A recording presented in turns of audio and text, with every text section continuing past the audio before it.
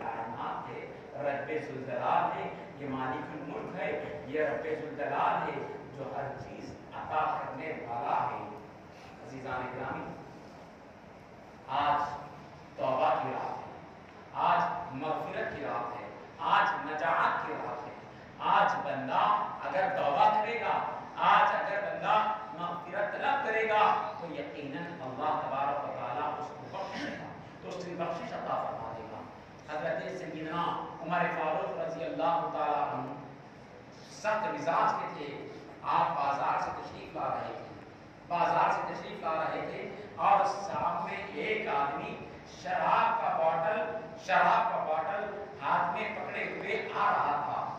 जो ही हज़रत उमर फारूक को देखा, हज़रत उमर फारूक रज़ी अल्लाह ताला अन्हु के हाथ में पलड़ा रहता था अगर कोई गुनाह करता हुआ देखा कि गया तो आप उसी वक्त उस पर उसे पलड़े से मार मार मार देते थे इसी तरीके से एक आदमी शराब का बॉटल पकड़े हुए आ रहा था। हज़रत उमर फारूक रज़ी अल्लाह अन्हु की निगाह पड़ी, नज़र पड़ी। नज़र पड़ने के बाद क्या हुआ कि नज़र पड़ी? हज़रत उमर फारूक के करीब आ गया। हज़रत उमर फारूक उसके करीब आ गए।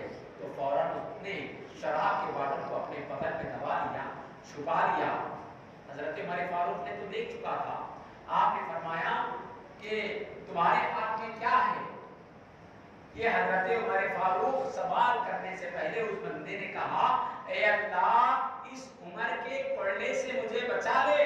अल्लाह, आइंदा फिर मैं अभी अपनी उम्र में कभी शराब नहीं पीऊँगा, कभी शराब को नहीं छूँगा कभी शराब नहीं पीऊँगा ए अल्लाह इस उम्र के खौफ और इस उम्र के पढ़ने से मुझे बचा ले दिल में वो बंदा तौबा कर लिया पाई हो गया और उस शराब के बॉटल के पास छुपा लिया बगल में छुपा लिया हज़रत उमर ने पूछा कि तुम्हारे हाथ में क्या है?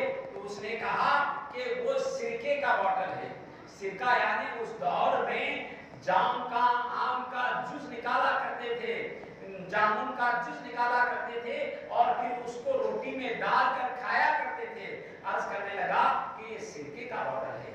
हज़रत उमर फारूक ने कहा, ठीक है, बताओ। तो उसको हैबत हो गई। हैबत का तार मारे तो जब निकालता है तो यकीनन वो शराब जाकर सिरके में बदल सुभान अल्लाह सिरके में बदल चुका था। क्यों? इसलिए कि उसने दिल से तौबा